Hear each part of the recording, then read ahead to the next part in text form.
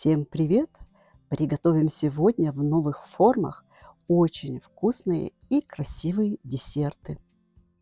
Будут две разные формы. Вот эта вот форма у меня с интересным узором и на палочках.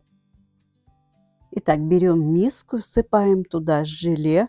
У меня клубника с бананом. Значит, 170 грамм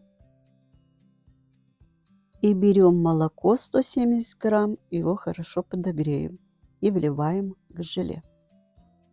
И хорошенько венчиком все перемешиваем до однородности. И вливаем сгущенное молоко, целую банку 370 грамм. И берем миксер и взобьем хорошенько.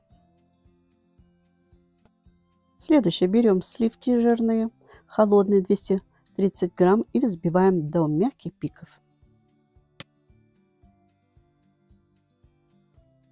Сливки соединяем с желе и хорошо перемешиваем.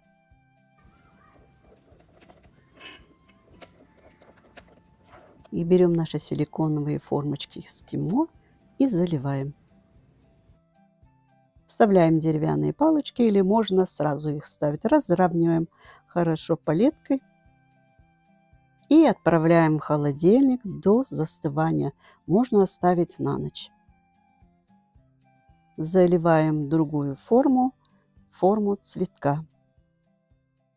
Заливаем цветочки и предварительно постучим ставим в холодильник. Хочу показать пирожное, как я приготовила с этими цветочками. Бисквит испекла, вырезала кружочки и смазываю любым кремом у меня сливки. Крем, конечно, можно использовать любой. У меня здесь мелкая крошка э, кокосовой стружки. И хочу я вот так вот наш круг обвалять. Кладем на подложку, любую. Сверху также я кремом смажу. Крем, конечно, можете и больше смазать и кладем наш цветочек.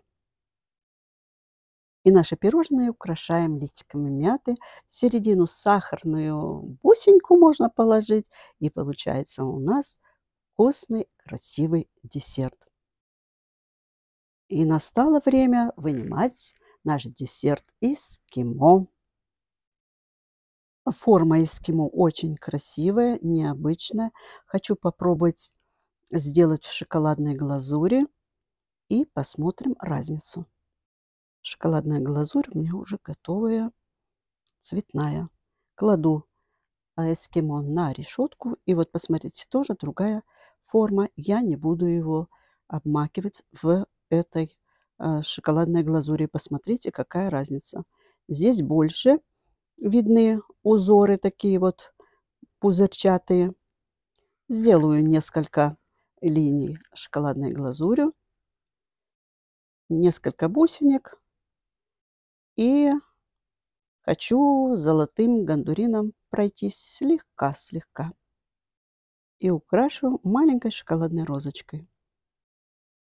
У меня подложка очень широкая, поэтому я разрезала пополам немного шоколадной глазури и кладу туда наше эскимо.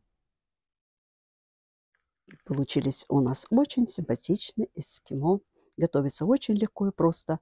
Друзья, одна моя ошибка в том, что я хорошо не размешала с горячим молоком нашу смесь из э, сухого желе.